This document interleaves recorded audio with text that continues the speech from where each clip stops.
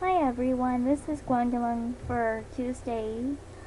Um, our assignment is to give five favorite things about Christmas.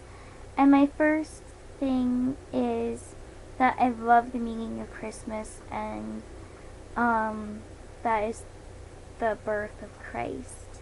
And the second thing um, is that I love driving around and seeing Christmas lights. The third thing is that I love drinking hot chocolate during the Christmas season.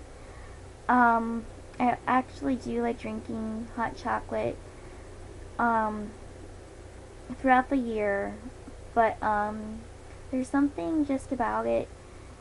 Um, I guess I, I don't think it's exactly just the fact that it warms you up, but there's just something else about it um, that just really makes it, um, I guess, like more fun to drink it during the winter season. And another thing is, is that um, I love Christmas trees. The smell of them and um, picking them out.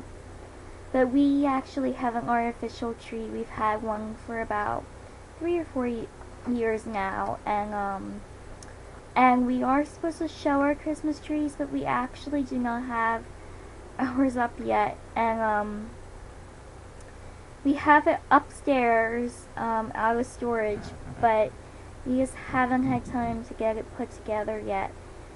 So hopefully next week um, I will be able to show, share that with you. And my last favorite thing about Christmas is watching Christmas movies.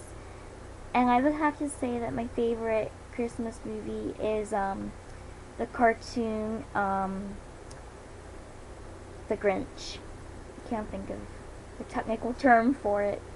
Um, and this week I have been feeling okay, um, except for um, that the East Coast got um, a pretty big snowstorm Saturday, and then on Sunday I fell twice, and um, I sprained my ankle, at least sprained it, maybe, hopefully nothing more than that, but, um, so I've been in some pain, and I am not feeling very good at all, so, um, so I'm looking like crap. Well, tomorrow is Wednesday, and you will see Leah. Bye.